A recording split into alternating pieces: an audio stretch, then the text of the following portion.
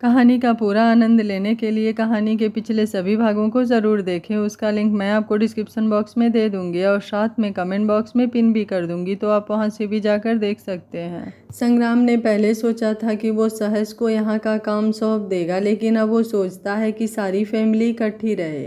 सो उसने तय किया कि वहाँ की कंपनी सीड और रोम को संभालने को बोल वो यहीं सेट हो जाएगा। सहस और हर्ष जो काम करना चाहे कर ले, उनकी अपनी च्वाइस है। वैसे वो कंपनी जो उसने बुआ से धोखे से ले ली थी, वो उसने हर्ष के नाम कर दी थी। कुछ देर बाद वो लिस्ट उसके टेबल पर आ गई, जो चार कैटेगरी में बटी हुई थी, जैसे ना पसंद किए जाने वाले शर्ट, कम पसंद किए जाने वाले शर्ट, पसंद किए जाने वाले शर्ट और ज़्यादा पसंद किए जाने वाले शर्ट। इसे देखने के बाद संग्राम बोला अब ज़्यादा पसंद किए जाने वाले शर्ट को नापसंद के साथ कंपेयर करके मुझे ये बताओ कि क्या करने से दोनों बराबर आ जाएँ। उसने सबको कहा, फिर सबको चारों शर्ट अपने पास रख कर देखने लगा, फिर अपने साथ बैग में रख लिया। उसने सीट को कहा, सीट, मैं छवि के पास जा रहा हूँ, तुम यहाँ संभालना। राजू का फ़ोन आया था, वो लंच के बाद आ जाएगा। बेटे को देखने गया है, कहकर संग्राम अपना बैग लेकर चला गया। बड़ा ही घटिया है कमीना, अपने भाइयों के छवि के साथ रहने से भी जलता है। सिर सिर हिलाते हुए अपने आप से बोल पड़ा। संग्राम सीधे मम्मी के घर आ गया और बिल बजाई। दरवाज़ा मौली ने खोला। मौली ने उसे नमस्ते कहा। छवि जाग रही है। हाँ जी जाग रही है, मैं उन्हीं के पास से आई हूँ। आप उनके पास जाइए, मैं खाना बना लूँ। कर कहकर वो किचन में चली गई। संग्राम ऊपर छवि के पास चला गया। अरे, ऐसे क्यों बैठी हो? जी, बोर हो गई। सारा दिन यहाँ पड़े पड़े। क्या करूँ? छवि ने बच्चों की तरह मुँह बनाया। सच में उसके कमरे में टीवी तक नहीं था। संग्राम बालकनी में आया और उसने राजू को फ़ोन किया। हाँ जी, सर। तुम इस वक्त घर पर ही हो? हाँ जी, सर। बस निकलने ही वाला हूँ, राजू बोला। ऐसा करो, एक पचपन इंच का टीवी लेकर इसी वक्त छवि के घर आओ। या ऐसा करो कि उन्हें फ़ोन कर दो। वो यहाँ ले आए, पैसे यहीं दे देंगे। कहकर संग्राम ने फ़ोन बंद किया। वो अंदर आया और छवि से बोला अच्छा बोलो, तुम्हें बालकनी में ले चलूँ? कहकर उसने उसके कंधे को सहारा देकर उसे खड़ा किया और धीरे धीरे उसे बालकनी में ले आया।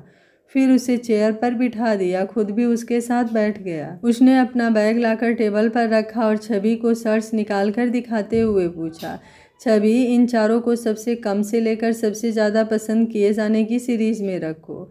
छवि ने देखते ही पहचान लिया कि इनमें से कौन सा लोगों ने बिल्कुल पसंद नहीं किया और संग्राम को दिखाती हुई बोली ये वाला नंबर फोर ये थ्री ये टू और ये वाला नंबर वन इसे सबसे ज़्यादा पसंद किया गया है? हम्म, छवि ने उसकी तरफ़ सवालिया नज़रों से देखा कि वो सही है या गलत। वाह छवि ग्रेट तुमने तो पहली ही बार में सही सही बता दिया लेकिन तुमने कैसे बताया? संग्राम ने हैरानी से पूछा। देखिए, मैंने अक्सर आपको इसी स्टाइल के कपड़े पहने देखा है, इसलिए इसे नंबर वन कहा है। बाकी मैं जब अहमदाबाद गई थी तो कॉलेज में लड़कों की चॉइस की हिसाब से यह अंदाज़ा लगाया, छवि ने सच बताया। तुम वहाँ लड़कों को देखती थी? संग्राम ने उसे घूरते हुए पूछा। अरे नहीं, असल में ये कपड़ा आपकी कंपनी तैयार करती थी ना तो इन कपड़ों को देखती थी, छवि ने बेचारी सी बनकर बोला। तभी अंदर राजू टीवी लेकर आ गया, संग्राम बोला, ठीक है, लगा दो। हाँ इस तरफ़ लगाओ, ऐसा करो, बेड इस साइड घुमा दो और यहाँ सामने लगा दो, कहकर वो छवि के पास आया। कमरे में क्या कर रहे हो? इतना शोर क्यों है? छवि ने शोर सुनकर पूछा। तुम्हारे बेड को खिड़की वाली तरफ़ खिसका दिया है। अब अगर बालकनी का अंदर वाला दरवाज़ा खुला रख लोगी तो जल्दी से ताज़ी हवा अंदर आएगी और वहीं बैठी तुम बाहर का नज़ारा देख सकती हो। फिर बोर नहीं होगी, संग्राम ने उसे बताया। आप ये सब सिर्फ़ इसलिए कर रहे हैं कि मैंने कह दिया था कि मैं बोर हो गई हूँ। आप मेरे बारे में इतना सोचते हैं, कहकर छवि ने संग्राम का हाथ पकड़ लिया। पगली, मैं तुम्हारे बारे में नहीं सोचूँगा तो और किसके बारे में सोचूँगा? और वैसे भी मुझे तुमसे काम भी तो है, संग्राम शरारत से बोला। इस हालत में मैं क्या काम कर सकती हूँ? छवि ने हैरानी से पूछा। जो शर्ट नंबर फोर और थ्री हैं, उनके लिए क्या किया जाए कि वो बेकार ना हो और बिक भी जाए? संग्राम बिजनेसमैन था, हर बात में बिज़नेस करता था। मैं बैठी यही सोच रही थी, क्यों ना हम इन पर इंग्लिश के अक्षर छपवा दे, जैसे एस अक्षर से तुम्हारा नाम है। तुम एस अक्षर वाली शर्ट पहन लेना। इसी तरह बाकी भी होंगी, इसके अलावा बर्थडे डेट भी लिख सकते हैं, छवि बोली। वाह, ये तो अच्छा आइडिया है। ये मेरे दिमाग में क्यों नहीं आया? मुझे पता था कि तुम ये कर सकती हो। इसलिए तुम्हारे पास लाया था, संग्राम बोला। और भी बहुत कुछ कर सकते हैं, जैसे कोई उनकी राशि का नाम या फिर हैंडसम, क्यूट, अट्रैक्टिव वगैरह भी लिखा जा सकता है, जिसे देखकर लड़के लेने आए। मैं आपको कुछ डिज़ाइन बना कर दूँगी। आप अपने कारीगरों से इस पर प्रिंट या कढ़ाई जैसा भी चाहो तो करा लेना, फिर देखना। छवि खुशी से बोले जा रही थी। उसे इस बात की खुशी थी कि वो संग्राम के काम आ रही है। संग्राम छवि की बात सुनते हुए कमरे की तरफ़ भी देखे जा रहा था। अंदर से ड्रिल चलने की आवाज़ें आ रही थी। अंदर क्या हो रहा है? छवि ने संग्राम से फिर पूछा। वो साफ़ सफ़ाई कर रहे हैं। उसी कारण से ये सब हो रहा है। तुम इधर ध्यान दो। संग्राम ने उसे बातों में लगाए रखा। सर हो गया। आकर देखिए, राजू बोला। संग्राम अंदर गया तो सब हो गया था और ठीक लग रहा था। टीवी सेट हो गया था, संग्राम ने पेमेंट किया और उसे भेज दिया। फिर वो छवि को अंदर ले आया। छवि देखकर हैरान रह गई। टीवी लगा देखकर वो खुश हो गई। अब बेड भी इस तरफ़ ठीक लग रहे थे। उसने संग्राम को थैंक यू कहा। दीदी जी, अब आप कैसी हैं? राजू ने पूछा। ठीक हूँ। तू बता, नज़र ही नहीं आता। आजकल मौली से ही सुनती हूँ तेरे बारे में। राजू को देखते हुए बोली। बस जी, कंपनी के काम में बिज़ी रहता हूँ, शादी के लिए पैसा जोड़ रहा हूँ, राजू बोला तो चाय के कप उठाने आई, मौली शर्मा गई। तू शादी कर रहा है, लड़की देख रखी है, तेरे बच्चे का क्या? संग्राम ने पूछा। जी, सब तय हो गया है, ये मौली से होनी है शादी, ये मेरे बच्चे को भी रखने को तैयार है, राजू बोला। अच्छा चलो अच्छा है, तुम दोनों को एडवांस में बधाई, संग्राम ने बधाई दी, दोनों खुश हो गए। मौली शर्मा कर नीचे चली गई। राजू भी विदा लेकर उसके पीछे चला गया। संग्राम ने छवि को बेड पर ठीक करके बिठाया, फिर उसके आगे अपना गाल करके बोला, अब करो थैंक यू छवि ने उसके गाल पर किस करने लगी तो उसने मुँह घुमा दिया और किस गाल की जगह उसके होठों पर हो गई। छवि पीछे हटने लगी तो संग्राम ने उसे पकड़ लिया और उसके होठों को चूमने लगा। इतने देर बाद मिलने की वजह से उसके अंदर की चाह बाहर आ गई थी, वो अपने आप को रोक नहीं पाया। छवि ने उसे पीछे हटाते हुए याद दिलाया कि वो अभी घायल है। सॉरी, भूल ही जाता हूँ, पर इस दिल का क्या करूँ, ये मानता ही नहीं। संग्राम उसके चेहरे को सहलाते हुए बोला। दोपहर में मम्मी भी घर आ गई, वो भी सीधे छवि के कमरे में आई। अंदर पैर रखते ही वो कमरा देखकर हैरान रह गई। ये कब किया? मम्मी, अब मैं भी यहीं रहूँगा, इसलिए अपनी पसंद का सेट करा लिया। मुझे टीवी देखने की आदत है, सो टीवी लगा लिया। अच्छा लग रहा है ना? संग्राम बोला। बहुत अच्छा लग रहा है। अच्छा किया। मैं खुद तुझे कहने वाली थी कि अब यहीं आ जा। अब मुझे इसकी चिंता नहीं रहेगी। खाना खा लिया क्या? नहीं, आपका वेट कर रहे थे। मौली से कहता हूँ कि खाना यहीं ले आएगी। उन्होंने वहीं बैठकर खाना खाया। मम्मी, मैंने आपसे पूछना था कि अब हम यहीं रहें या अहमदाबाद चलें? संग्राम ने पूछा। बेटे, उस शहर ने मुझे दुख के सिवा कुछ नहीं दिया। तुम्हें पता नहीं कि मैंने उस शहर को क्यों छोड़ा। आज वक्त है, मैं तुम्हें अपनी कहानी सुनाती हूँ, मम्मी बोली। अरे, हमने भी सुननी है। हमें आने तो दो, हर्ष ने अंदर आते हुए बोला। सहस भी उसके साथ ही था। वो अंदर आते ही चौंक गए। उन्हें लगा, मानो गलत कमरे में आ गए हों। ये क्या, मम्मी, हम कुछ देर बाहर घूमने क्या गए? कमरा ही बदल दिया, सहस बोला। मैंने नहीं संग्राम ने किया है, अब ये कमरा उसका है, सो उसने अपने ढंग से सेट कर लिया, मम्मी बोली। क्या, फिर आप उस घर में नहीं रहोगे? हर्ष भैया, हम वहाँ शिफ्ट कर लेते हैं, सहस बोला। तुम दोनों बाद में जाना, पहले बताओ, खाना खा लिया क्या? मम्मी ने पूछा। हाँ जी, बाहर खा कर आए हैं। चलो, अब आप अपनी कहानी सुनाओ, हर्ष बोला। बात आज से बत्तीस साल पहले तुम्हारे दादाजी ने मुझे कॉलेज में पसंद किया था। उन्होंने मेरे पापा से मिलकर मेरी शादी तुम्हारे पापा से कर दी। तुम्हारे पापा बहुत ही अच्छे थे, वो कंपनी तुम्हारे दादाजी की थी। फिर तुम्हारे पापा संभालने लगे, फिर हमारे जीवन में संग्राम आया। सब इसे बहुत प्यार करते थे। फिर साहस के होने के बाद तेरे पापा बीमार रहने लगे थे। तब उन्होंने उस कंपनी के शेयर हम तीनों को दे दिए। अब तुम दोनों छोटे थे, तुम तीन साल के और सहस आठ महीने का था। तो अट्ठारह साल तक तुम्हारे शेयर संभालने की ज़िम्मेदारी मेरी थी। फिर अचानक तेरे पापा मर गए। मेरे पापा पहले ही मर गए थे। अब सिर्फ़ तुम्हारे दादाजी का ही सहारा था। उन्होंने अपने असिस्टेंट हर्ष के पापा से मेरी शादी करा दी। क्या वो दादाजी के असिस्टेंट थे? संग्राम ने पूछा। हाँ वो पिताजी के असिस्टेंट था। कंपनी का सारा काम करता था। इस वक्त उन्होंने पिताजी को कहा कि इनके दो बच्चे हैं और पत्नी मर गई हैं। पिताजी को यही ठीक लगा। हमारी शादी करा दी। शादी के बाद ये हर्ष और पृथ्वी को अपने साथ ले आए और इनके साथ रेखा को भी ले आए और हमें बताया कि ये बच्चों की नैनी है। मैंने ज़्यादा ध्यान नहीं दिया। संग्राम को पहले ही पिताजी ने बोर्डिंग स्कूल में डाल दिया। पहले वो बहुत ठीक रहा, पिताजी की डेथ होते ही वो एकदम से बदल गया। कहते कहते मम्मी रुक गई। हर्ष, बेटा, बुरा ना मानना, मैं तुम्हारे पिताजी के बारे में ऐसे बात कर रही हूँ। असल में मैं उसकी भूल कर भी इज़्ज़त नहीं कर सकती, वो ही घटिया आदमी था। वो हर्ष से बोली, कोई बात नहीं मम्मी जी, उस आदमी की मैं भी इज़्ज़त नहीं करता, जबकि मैं उसका बेटा हूँ और मुझे तो वो प्यार करता था। उसके कहने के मुताबिक पर जब मैं उससे इतनी नफ़रत करता था तो आपके साथ तो जाने, आप जो चाहे उसे बोलो, मुझे कोई फ़र्क नहीं पड़ता, हर्ष बोला। तुम्हारे दादाजी की मौत के बाद उसने अपने असली रंग दिखाने शुरू कर दिए। हम शादी के बाद से ही अलग अलग कमरे में ही सोते थे। हमारे बीच पैसे के सिवा कोई बात नहीं होती थी। वो मेरे पास आता था जब उसे पैसे या किसी कागज़ पर मेरे साइन चाहिए होते थे। तब तक भी सब ठीक था। फिर एक दिन वो मुझे एक होटल में मीटिंग के लिए ले गया और मुझे उसने जानबूझकर अपने एक क्लाइंट के पास कमरे में छोड़ दिया। मैं ही जानती हूँ, मैं वहाँ से बचकर कैसे आई। घर आने पर उसने मुझे मारा और बोला कि उस क्लाइंट से उसे तीन करोड़ का फ़ायदा होना था। उस दिन हमारी खूब लड़ाई हुई। मैंने उसके बाद उसके साथ जाने से मना कर दिया और वो रेखा को ले जाने लगा। तब से मैं हर्ष को भी अपने पास रखने लगी। शरद, जिसका नाम उसने संग्राम कर दिया था, उसको उसने ऐसा सिखाया कि वो मुझसे नफ़रत करने लगा। मुझे वो उसके स्कूल जाने नहीं देता और वो यहाँ आता तो मुझसे बात ही नहीं करता। फिर एक दिन उसने सहस को उठाकर उसे मारने की धमकी देते हुए मुझे कई पेपर्स पर साइन करा लिए। उसके बाद से वो मुझसे पैसे मांगने नहीं आया। उस दिन से वो मुझ पर घर से बाहर जाने की पाबंदी लगा दी। मैं बहुत डरी डरी रहती थी कि कहीं वो सहस को मारने की धमकी देकर मुझसे कोई और भी काम ना करा ले।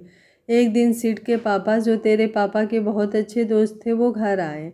तो मैंने उन्हें सब कुछ बताया और उनसे वादा लिया कि वो किसी को नहीं बताएँगे। मैंने उनसे वहाँ से भागने में मदद मांगी। उसने सिट के पापा को जाते हुए देख लिया। तो उसने हम दोनों पर बहुत ही गंदे इल्ज़ाम लगाए। फिर मैं उनकी मदद से यहाँ भाग आई। मम्मी रोते हुए सुना रही थी मम्मी आप रो मत बुरा वक्त गुजर गया अब वो जेल में है अपने किए की सज़ा भुगत रहा है संग्राम बोला। हम्म, मेरी किसी दिन सिड के पापा से भी बात कराना मेरी वजह से उन्हें भी बहुत तकलीफ़ हुई। हाँ इन्होंने उनके घर जाकर भी हंगामा किया तो उन्हें भी घर बदलना पड़ा था। मुझे भी कुछ दिन पहले ही पता चला था संग्राम ने बताया। बस फिर हम यहाँ आ गए। शुरू शुरू में कुछ मुश्किलें हुई, लेकिन फिर धीरे धीरे दिन सुधरते चले गए, मम्मी बोली। मम्मी, जो बीत गया सो बीत गया, अब उसे भूल जाओ। अब हम इकट्ठे हो गए, अब हम सभी साथ रहेंगे। संग्राम ने इशारा किया तो सहस और हर्ष ने भी मम्मी को गले लगा लिया। तीनों ने एक साथ मम्मी को हक कर लिया। तीनों की आँखें नम हो गई थी। छवि भी उन्हें नम आँखों से देख रही थी। वो सोच रही थी कि लाइफ उसकी ही दर्द में गुजरी है। पर मम्मी की तो बहुत ही ज़्यादा दर्द भरी है, अब सब ठीक हो जाएगा। फिर कुछ देर बाद सब नॉर्मल हो गया। मम्मी ने संग्राम को कहा, अगर मैं तुम तीनों को कुछ कहूँ तो मेरी बात मानोगे? हाँ जी मम्मी जी, बोलो, तीनों ने एक साथ कहा। संग्राम मुझसे पूछ रहा था, देखो बेटा, मैं अब उस शहर नहीं जाना चाहती। अब तुम तीनों देखो कि तुम कंपनियों को कैसे हैंडल करोगे, मम्मी बोली। भाई, आप लोग कुछ भी डिसाइड करो, मैं कुछ कहना चाहती हूँ। मैं मम्मी के साथ ही रहूँगी, छवि बोली। अब छवि यहाँ है तो मुझे भी यहाँ ही रहना पड़ेगा। तो ऐसा करते हैं, हर्ष और सहस तुम दोनों अहमदाबाद जाओ। हर्ष, पहले तुम बताओ, कौन सी कंपनी में जाना चाहोगे? तुम्हारी चॉइस है। सहज को दूसरी में भेज देंगे, संग्राम बोला। भैया, आपने मुझे जो दी है, मैं वहीं चलाऊँगा। सहज दूसरी संभाल ले, हर्ष बोला। चलो ठीक है, फिर सहज, तुम उस कंपनी में चले जाना। ओम तुम्हारी हेल्प करेगा और हर्ष तुम्हारे साथ सीट को भेज दूँ। तुम्हारी उससे बनती भी बहुत है, ठीक है ना? बाकी मैं तो हूँ ही। वक्त मिलते ही यहाँ आ जाया करना, संग्राम बोला।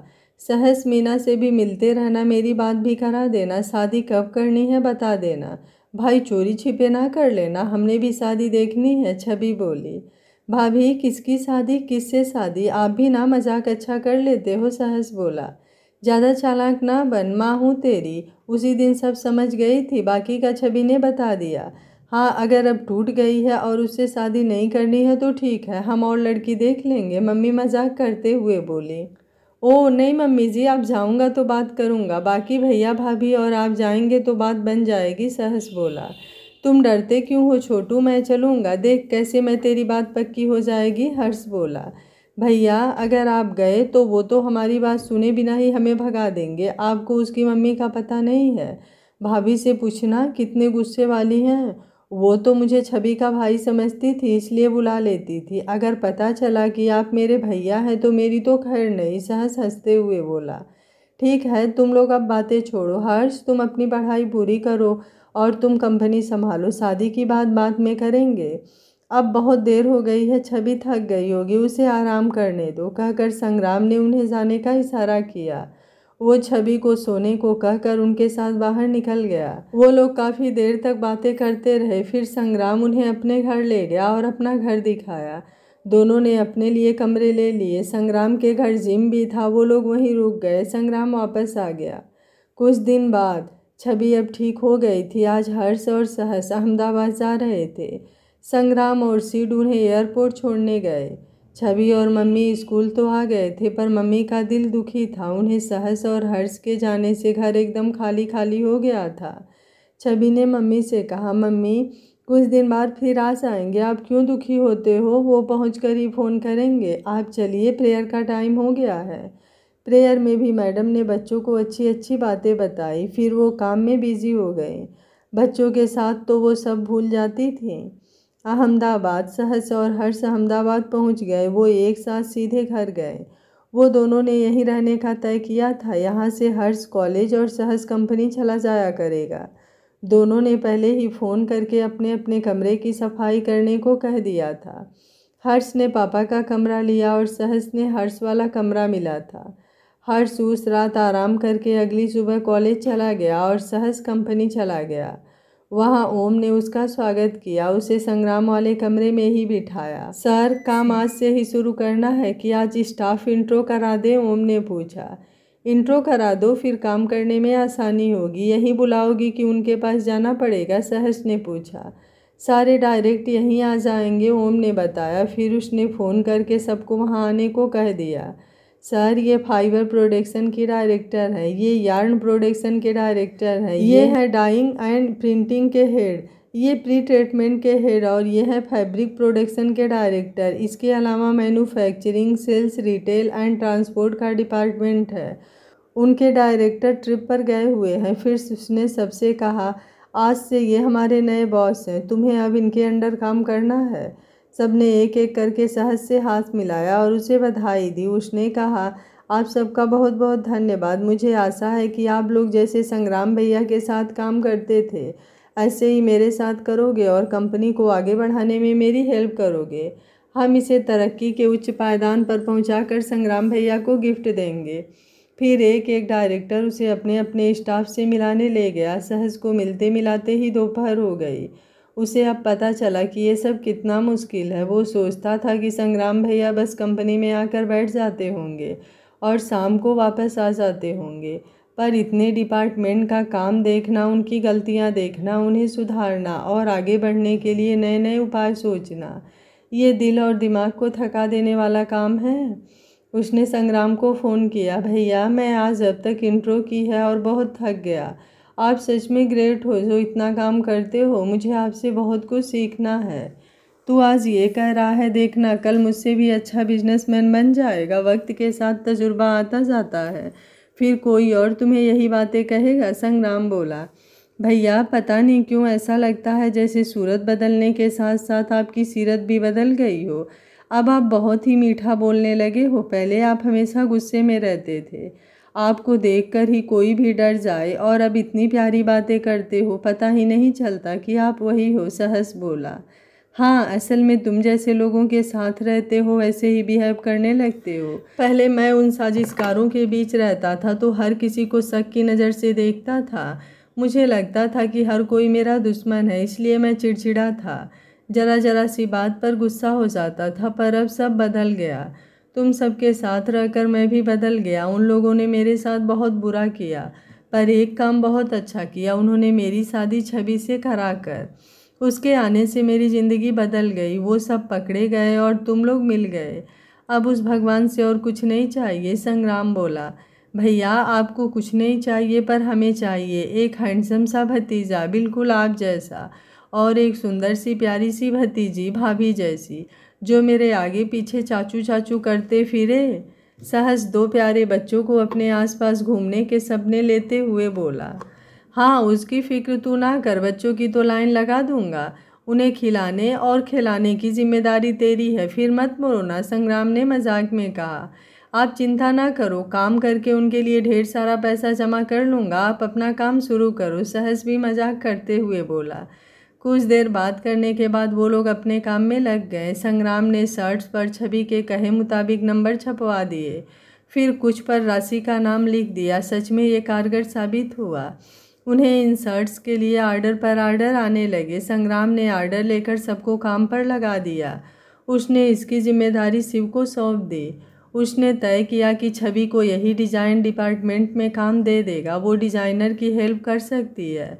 उसके आइडियाज़ भी कमाल के हैं। डिज़ाइनर संजीव वहाँ आया तो बोला, सर, आपके इस डिज़ाइन ने तो रेवोल्यूशन ला दिया।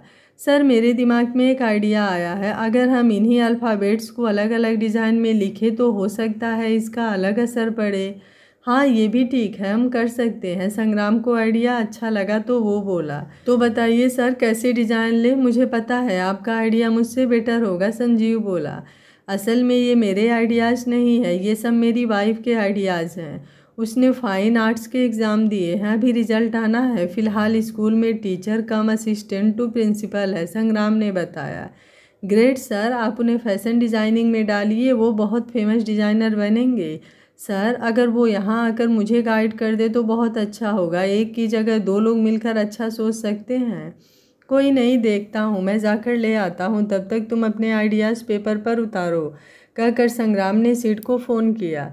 सीट मैं छवि को लेने घर जा रहा हूँ, पीछे ध्यान रखना। यार, मुझे भी कहीं से एक अच्छी पत्नी दिला दे और मैं भी बहाने बनाकर घर जाऊँ, सीट बोला। ठीक है, शाम को तेरे पापा को फ़ोन करता हूँ। उनसे कहता हूँ कि कोई लड़की ढूंढ दे, संग्राम बोला। गुरुदेव, गलती हो गई। आपको ढूँढने की ज़रूरत नहीं है। मैं इतना फ्री हूँ, मैं खुद ही ढूंढ लूँगा, सीट बोला। चल, अब गुरु माना है तो ठीक है, ढूंढते हैं। चल, मैं आता हूँ, कहकर संग्राम ने फ़ोन काट दिया और कार की चाबी उठाकर बाहर चला गया। छवि इस वक्त स्कूल में थी। संग्राम सीधा स्कूल में ही चला गया। मम्मी उसे देखकर बहुत खुश हुई। आज मेरा बेटा यहाँ कैसे आया? मम्मी ने पूछा। मम्मी, आपको पता है, जो शर्ट बिक नहीं रहे थे, उनके लिए छवि ने आइडियाज़ दिए थे। अब वो सारे शर्ट्स बिक रहे हैं। डिज़ाइनर छवि से मिलना चाहता है। हम चाहते हैं कि वो और आइडियाज़ दे, ताकि अलग अलग डिज़ाइन बनाए जा सके। संग्राम ने सारी बात बताई। अच्छा तो तू अपनी माँ से या फिर एक पति अपनी पत्नी से मिलने नहीं आया? ये यहाँ एक बिजनेसमैन अपने बिज़नेस को बढ़ाने आया है। मम्मी ने उससे मज़ाक करते हुए कहा। अरे मम्मी बिज़नेस तो बहाना है। असल में तो आपकी याद आ रही थी, इसलिए आया हूँ, संग्राम बोला। चल तुझे स्कूल दिखा दूँ, वहीं तू छवि से भी मिल लेना। कहकर वो उसे स्कूल दिखाने चल दिया। संग्राम यहाँ पहली बार आया था तो वो बहुत उत्साहित था अपनी मम्मी का स्कूल देखने के लिए। वो लोग एक दो क्लासेस देख कर निकले तो उसे छवि की आवाज़ सुनाई दी। वो बच्चों को ड्राइंग सिखा रही थी। वो उसे बच्चों के साथ प्यार से पेश आते देखकर सोचने लगा। अगर आज उनका बच्चा ज़िंदा होता तो उनकी ज़िंदगी और ही होनी थी, पर किस्मत को ये मंजूर नहीं था। चलो, हम साथ हैं, ये भी बहुत है।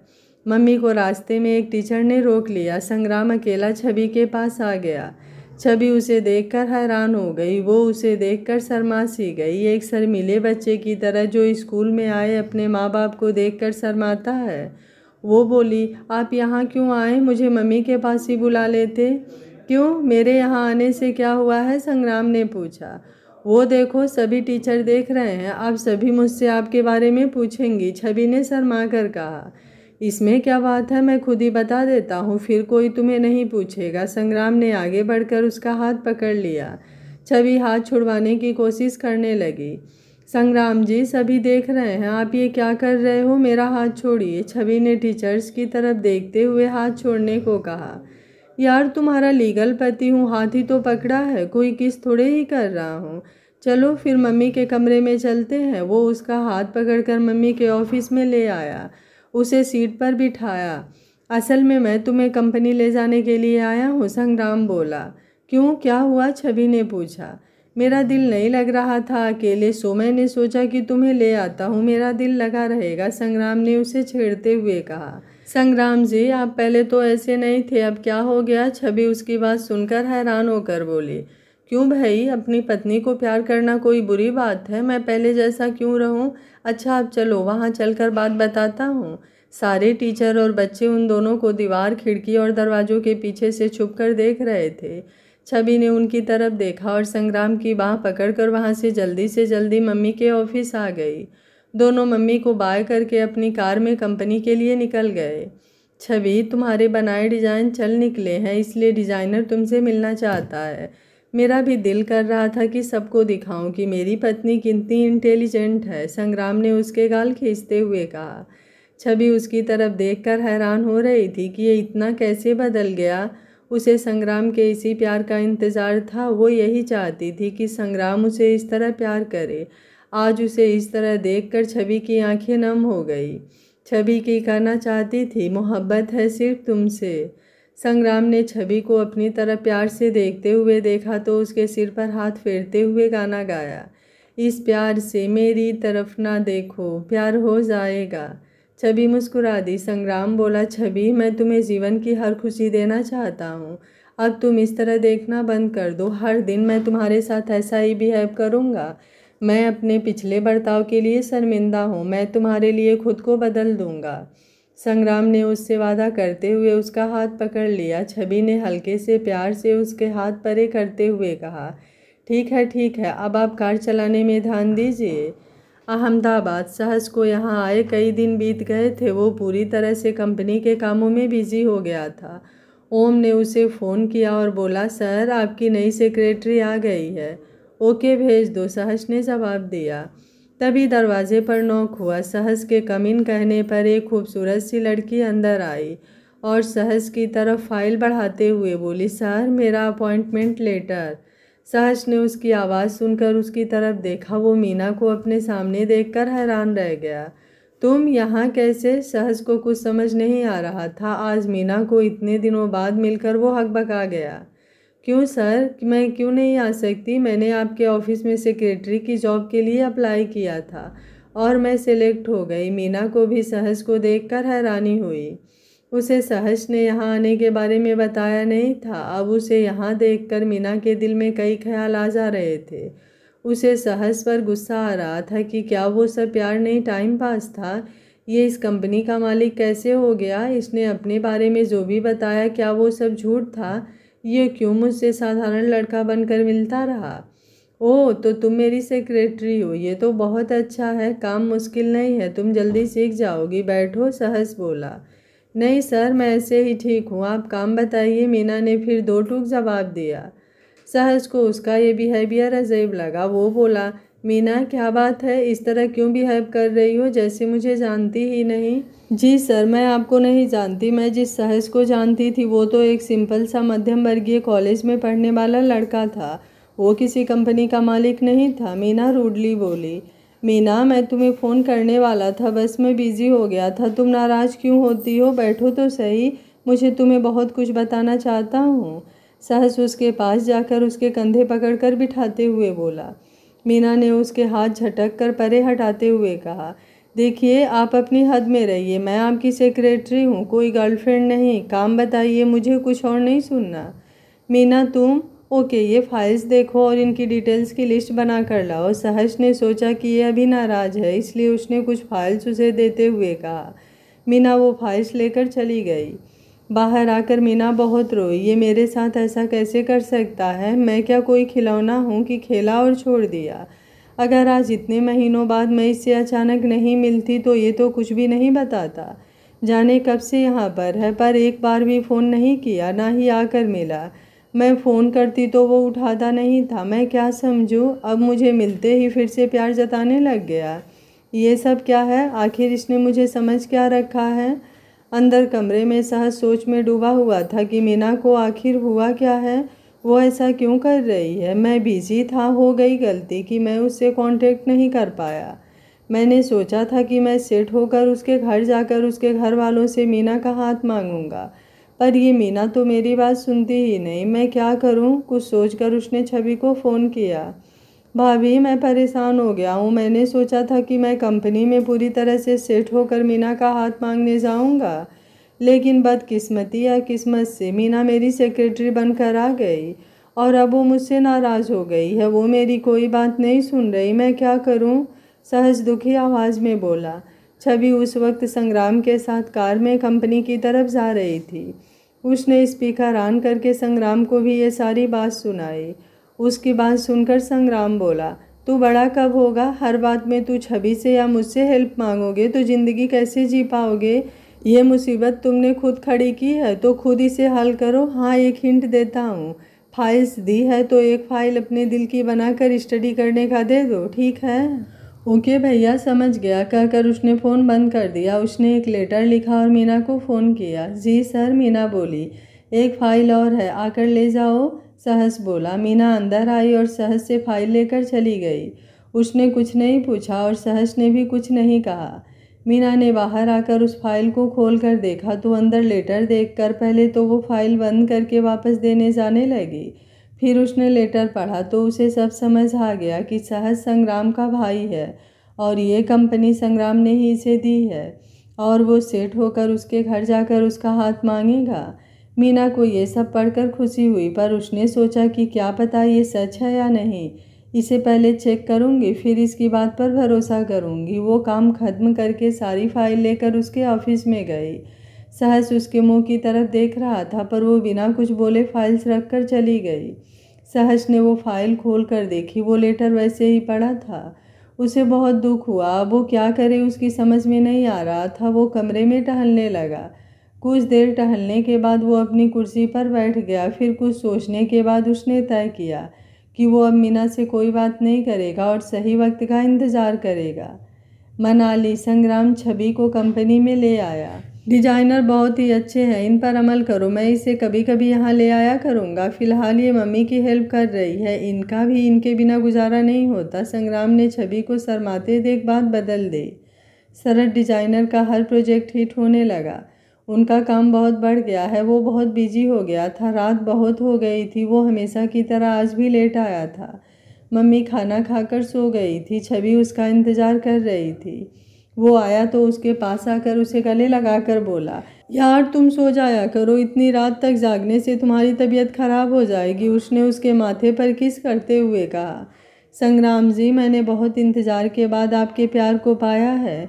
मैं ऐसे ही दिनों का इंतज़ार था। मैं शुरू से चाहती थी कि मैं अपने पति का इंतज़ार करूँ।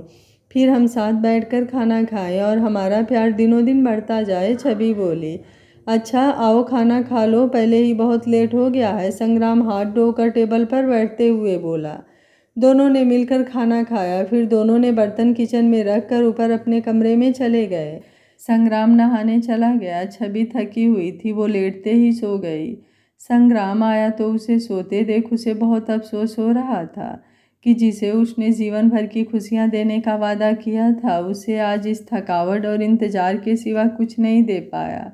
उसने उसे देख कर तय किया कि आगे से वो समय पर घर आया करेगा। वो उसके पास लेटा और उसे पकड़कर अपनी बाहों में खींच लिया।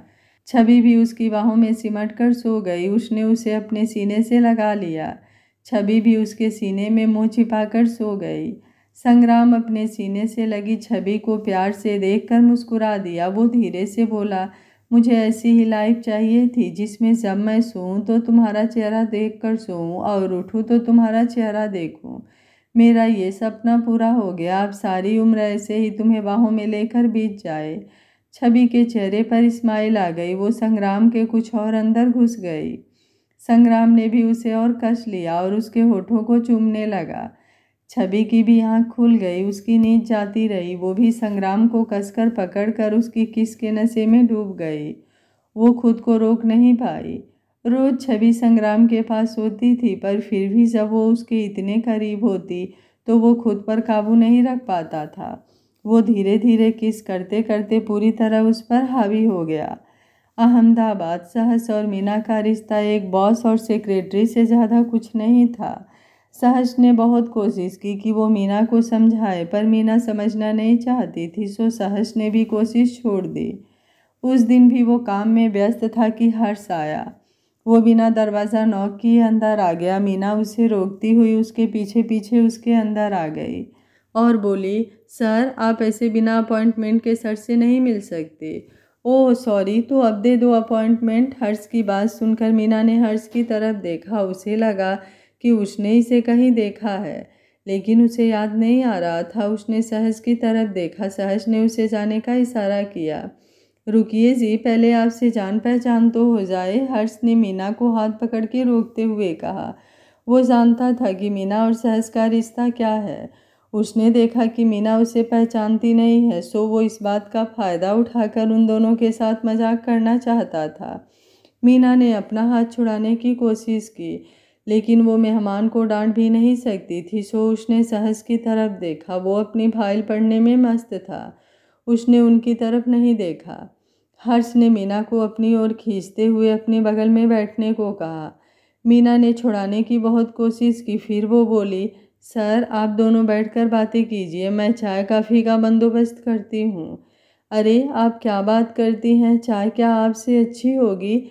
खड़ी क्यों हो? पास बैठ जाओ। शराब का नशा हो जाए। हर्ष बोला, सर, आप बहुत ही फनी हैं। प्लीज़ मेरा हाथ छोड़िए। मीना ने हाथ छुड़ाने की कोशिश करते हुए कहा, पर हर्ष कहाँ छोड़ने वाला था? सहस भी देखना चाहता था कि मीना कैसे रिएक्ट करती है। सो वो चुपचाप फ़ाइल देखने में बिज़ी रहा। मीना की बर्दाश्त की हद हो गई तो वो गुस्से से बोली, सर, मेरा हाथ छोड़िए। दर्द करने लगा है। ये क्या तरीका है किसी से बात करने का? ओ तो अब तुम मुझे एक सेक्रेटरी मुझे सिखाओगी कि मुझे तुमसे कैसे बात करनी चाहिए? तुम्हारी इतनी हिम्मत। सहस ये तुमने कैसी लड़की रखी है? हर्ष ने सहज से कहा। तब सहज ने फ़ाइल बंद की और उनकी तरफ़ देखा। क्या बात है भैया? सहज ने भोलेपन से पूछा। सहस ये तेरी सेक्रेटरी मुझे लेक्चर दे रही है। कहती है कि मुझे बात करने का तरीका नहीं आता। हर्ष बोला। मीना, क्या बात है? ये क्या तरीका है गेस्ट से बात करने का? सहज ने मीना को डांटते हुए कहा। लेकिन सर, इन्होंने मेरा हाथ पकड़ लिया है और छोड़ ही नहीं रहे। मैं कब से कह रही हूँ कि मेरा हाथ छोड़ दीजिए। लेकिन ये छोड़ ही नहीं रहे हैं। मीना ने सहज को सारी बात बताई और अपना पकड़ा हुआ हाथ ऊपर उठाकर कहा। हाथ ही तो पकड़ा है, इसमें क्या बड़ी बात हो गई? सहज बोला। सहस ये तुम कह रहे हो। जब मैं आई थी तब तो बड़ा कह रहे थे कि मैं तुमसे ही प्यार करता हूँ और तुम्हारे पेरेंट्स से तुम्हारा हाथ मांगूँगा। और आज कोई अनजान मेरा हाथ पकड़ रहा है तो तुम्हें कोई फ़र्क नहीं पड़ रहा है। क्या पैसे ने तुम्हें इतना अंधा कर दिया है सहस? मीना ने सारा गुस्सा सहस पर निकाल दिया। लेकिन हर्ष ने अभी उसका हाथ नहीं छोड़ा। अच्छा जी, तुमने मेरा लेटर पढ़ लिया था, पर तुमने मुझे बताया क्यों नहीं? ऐसे क्यों रिएक्ट करती रही? मानो तुमने वो लेटर पढ़ा ही नहीं है। आज सब याद आ गया, सहस बोला। सहस, वो हम दोनों की आपस की बात है। हम अपनी लड़ाई बाद में भी निपटा सकते हैं। पहले इस बाहर वाले को तो सबक सिखाओ, ये मेरा हाथ नहीं छोड़ रहा, मीना बोली। मीना, ये कोई बाहर वाले नहीं है, ये मेरे बड़े भैया हर्ष हैं, सहस बोला। भाई, मैं तो तुम दोनों से मिलने आया था, मुझे क्या पता कि तुम में अनबन चल रही है। मैं तो अपनी छोटी भाभी के साथ थोड़ी मस्ती कर रहा था। तुम हमारी फैमिली में फिट होने के काबिल हो, हर्ष बोला। ओह सॉरी भैया, आप पहले बता देते तो मैं ऐसे रिएक्ट नहीं करती। सच में, मैंने संग्राम जी को तो देखा था, पर आपको पहली बार देखा है। मीना कभी सहस और कभी हर्ष को देख रही थी। क्या बात है, मुझे तो संग्राम भैया ने बताया था, मैं तो बधाई देने आया था, पर यहाँ तो मसला ही कुछ और है। मतलब तुम जब से आए हो ऐसे ही हो, महीना होने को आया है। तुम दोनों की सुलह नहीं हुई। क्या मुझे बताओगे कि तुम दोनों में हुआ क्या है? हर्ष बोला। सहस और मीना एक दूसरे की तरफ़ देखने लगे। दोनों ही चाहते थे कि दूसरा बताए। कोई भी खुद बताना नहीं चाहता था। हर्ष भी दोनों की तरफ़ देखे जा रहा था। कमाल है यार, तुम दो दोनों ही नहीं बोलते। मुझे जाकर संग्राम भैया और छवि भाभी को रिपोर्ट भी भेजनी है। अगर ऐसे ही चुप रहोगे तो मैं जाकर क्या बताऊँ? हर्ष बोला। भैया, मैं ही बताता हूँ। आपको तो पता ही है कि इस बार हम लोग वहाँ कितने बिज़ी थे। पिछले महीनों में हमारी लाइफ में क्या कुछ नहीं हुआ। इस बीच मैं इसे फ़ोन करना भूल जाता था। फिर जब बाद में किया तो इसका फ़ोन बंद आ रहा था। मतलब हमारी कम बात हुई। फिर मैं यहाँ आकर भी बिज़ी हो गया। मैंने सोचा पहले कंपनी सेट कर लूँ तो फिर इसके घर जाकर इसके माँ बाप से रिश्ते की बात कर लूँगा। किस्मत से ये यहीं आ गई, लेकिन ये मेरे से उस बारे में बात ही नहीं करती। बस काम से मतलब है और कुछ नहीं सहस बोला। अच्छा भैया, कोई कहीं भी बिज़ी हो, रात को सोने से पहले एक बार तो फ़ोन देख सकता है। ये खुद फ़ोन नहीं करता था, मेरे फ़ोन तो उठा सकता था, लेकिन इसने मेरे फ़ोन तो उठाने दूर, इसने मेरे मैसेज भी नहीं देखे। तो मैंने भी गुस्से में इसे ब्लॉक कर दिया। फिर कुछ हफ्तों बाद अनब्लॉक भी कर दिया, पर इन्होंने फिर भी फ़ोन नहीं किया। जब मैंने इन्हें यहाँ देखा तो मेरा गुस्सा और बढ़ गया। मेरे मन में कई ख्याल आ रहे थे। इन्होंने लेटर लिखा, मैंने पढ़ा, पर मैं कैसे भरोसा करती? मुझे लग रहा था कि इन्होंने किसी और अमीर लड़की से शादी कर ली है, और ये कंपनी उसी की है, मीना बोली। क्या? हर्ष ने बोला। क्या? सहस भी बोला। दोनों हैरान होकर उसे देख रहे थे कि ये क्या बात कर रही है शादी कंपनी। मीना, तुम इसे गलत समझी। इसने सिर्फ़ तुमसे प्यार किया है। हमारे घर में सच में बहुत कुछ हो गया था। ये तुम खाली वक्त में सहज से सुनना। मैं बस इतना कहूँगा कि ये सिर्फ़ तुम्हें हमेशा याद करता था। तुम्हें यहाँ से लगवाया भी संग्राम भैया और भाभी ने है। चलो, अब हाथ मिलाओ और सुलह करो और मुझे अस्सी सी चाय पिलाओ। हर्ष बोला, हर्ष की बात सुनकर मीना ने सहस की तरफ़ मुस्कुरा कर देखा, फिर वो चाय लेने चली गई। हर्ष कुछ देर उन दोनों के साथ बैठा बातें करता रहा। अब वो दोनों भी ठीक बातें कर रहे थे। हर्ष के जाने के बाद मीना भी कमरे से जाने लगी तो मुड़कर बोली, सहस आई एम सॉरी मुझसे गलती हो गई, मैंने तुम्हें गलत समझा। मुझे ये सब नहीं करना चाहिए था, तुम्हारी प्रॉब्लम समझनी चाहिए थी। नहीं मीना, गलती मेरी भी थी। जब मैंने तुम्हें अपना सब कुछ समझा ही है तो मुझे तुम्हें अपनी प्रॉब्लम बतानी चाहिए थी। आई एम सॉरी सहज बोलते हुए उसके पास आया और उसे गले लगा लिया। मीना ने भी अपनी बाहें उसकी कमर में डाल ली, दोनों एक दूसरे की बाहों में खो गए। तभी ऑफ़िस का दरवाज़ा खुला हर्ष आया था, वो सामने का नज़ारा देखकर हैरान रह गया। वो ना अंदर आ पाया, ना वापस जा पाया। मीना की नज़र उस पर गई तो उसने सहज को धक्का देकर दूर हटाया। वो मेरी कार की चाबी यहीं रह गई थी, वही लेने आया था। मुझे नहीं पता था तुम लोग, सॉरी भाई, मैं जा रहा हूँ, तुम लोग कंटिन्यू कर सकते हो? कहकर वो चाबी लेकर वापस जाने लगा। तो फिर बोला, कम से कम बाहर डो नॉट डिस्टर्ब का साइन तो लगा दो, कोई आने से पहले सोच कर आता है। उसका भी क्या करेंगे? कुछ लोग तो बिना नॉक किए सीधे ही आ जाते हैं। अब उन्हें इस बात से कोई मतलब नहीं कि दरवाजे पर क्या साइन है, सहज बोला। मीना तो शर्म से मरी जा रही थी। वो उसकी तरफ़ पीठ किए मुँह छुपाए खड़ी थी। ओ यार, कहा ना, सॉरी, आगे से अपना दरवाज़ा भी नॉक करके घुसूँगा, ठीक है? हर्ष को भी बुरा फील हो रहा था कि उसने ये क्यों नहीं सोचा कि वो लोग अभी आपस में मिले हैं और वो बिना कुछ कहे अंदर आ गया। उसके जाते ही मीना भी शरमाते हुए निकल गई। उसके स्टाफ वाले उसके चेहरे को देखकर सोच रहे थे कि शायद इसे सहज ने डांटा है। वो आपस में बातें कर रहे थे। पता नहीं सर क्यों चरा चरा सी बात पर नाराज़ हो जाते हैं। बेचारी फंस गई है। यहाँ आकर भाई सच कहता हूँ, क्लर्क बन जाओ, पर बॉस की पर्सनल सेक्रेटरी ना बनो। अब अकेले में डांटो तो भी कुछ नहीं। किसी के सामने डांटना अच्छी बात थोड़ी ही है। दिनेश मीना को सिर टेबल पर टिकाए देखकर समझा कि वो रो रही है, सो वो बोला, मैं जाती हूँ, उसे थोड़ा हौसला देती हूँ, कहकर नीलम पानी का गिलास लेकर मीना के पास गई और बोली, मीना, रो मत, यहाँ ऐसा ही है बॉस लोग हमें इंसान समझते ही नहीं हैं। ये तो कुछ भी नहीं है, संग्राम सर तो सारा ऑफ़िस सिर पर उठा लेते हैं। वो नीचे से लेकर ऊपर तक सबकी क्लास लेते थे। शुक्र करो कि तुम उनके समय में नहीं आई। अच्छा रोना छोड़ो और ये लो पानी पी लो।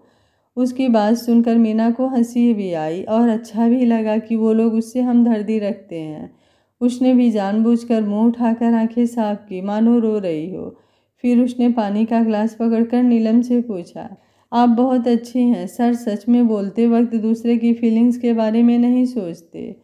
सुनो, तुम उतना ही कहना माना करो जो हद में है। अगर सर कुछ हद से बाहर करने को कहते हैं तो मना कर देना। दिनेश बोला, लेकिन जब उसने देखा कि मीना उसकी बात समझी नहीं तो वो उसके पास होकर बोला, मेरा मतलब है जैसे गेस्ट को इंटरटेन करना। उसकी बात का मतलब समझती हुई मीना बोली, नहीं नहीं, ऐसा कुछ नहीं है, सर ऐसे नहीं है, ये सर के भाई थे, वो भी थोड़ा बहुत शरीफ है। बस वो काम को लेकर उन्होंने अपने भाई के सामने मुझे डांट दिया तो थोड़ा फील हुआ। मीना ने बात बना ली।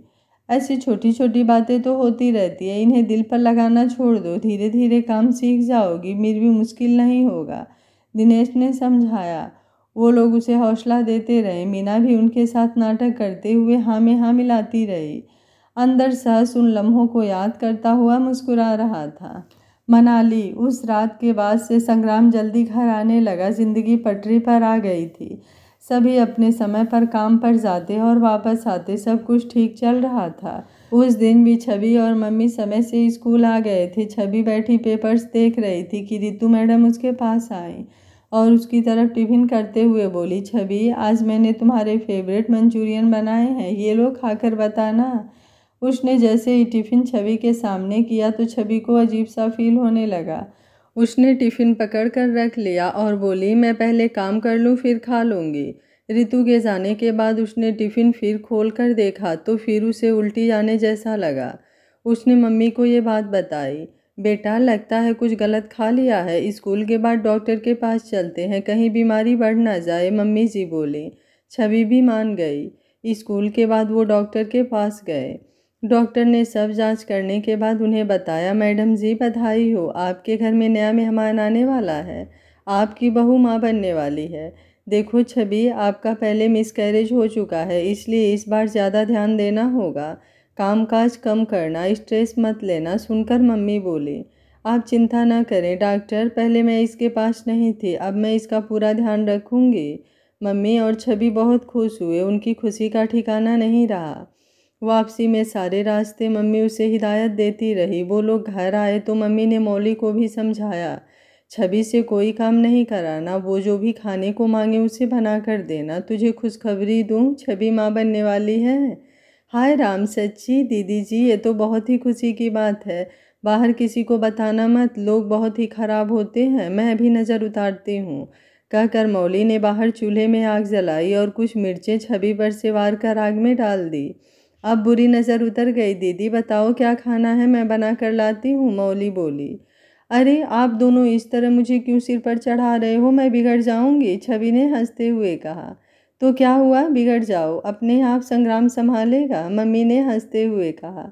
फिर सलाह देती हुई बोली, ऐसा करते हैं, ये नीचे वाला कमरा तुम ले लो, मैं ऊपर वाला कमरा ले लेती हूँ। मैं अब ठीक हूँ, सीढ़ियाँ चढ़ उतर सकती हूँ, जबकि तुम्हें अब इससे बचना होगा।